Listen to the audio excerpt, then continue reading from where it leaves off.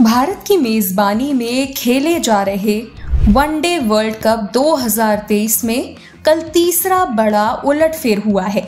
कल चेन्नई के M A Chidambaram stadium में अफ़गानिस्तान और पाकिस्तान के बीच एक काफ़ी रोमांचक मैच खेला गया, जिसमें अफगान टीम ने आठ विकेट से शानदार जीत दर्ज की है।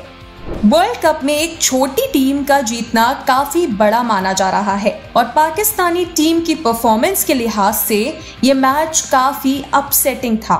इससे पहले अफ़गानिस्तान टीम ने डिफेंडिंग चैंपियंस इंग्लैंड को उनहत्तर रनों से हराकर पहला उलटफेर किया था।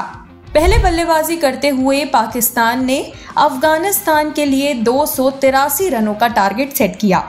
जिसे अफ़गानिस्तान की टीम ने दो विकेट गंवाकर हासिल कर लिया।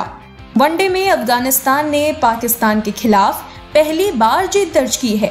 दोनों टीमों के बीच अब तक आठ वनडे मैचेस हुए हैं, जिसमें पाकिस्तान ने सात मैचेस जीते और कल इतिहास को पलटते हुए अफगानी टीम ने अपनी जीत के साथ पाकिस्तान के खिलाफ अपना खाता खोल लिया। वनडे वर्ल्ड कप में अफ़गानिस्तान की ये तीसरी जीत है। इससे पहले अफगानी टीम ने 2015 में स्कॉटलैंड और इसी सीज़न में इंग्लैंड को हराया था।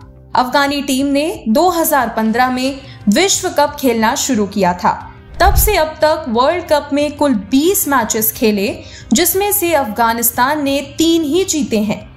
अंक तालिका में पाकिस्तान टीम पांचवे और अफ़गानिस्तान टीम छठे स्थान पर बनी हुई है।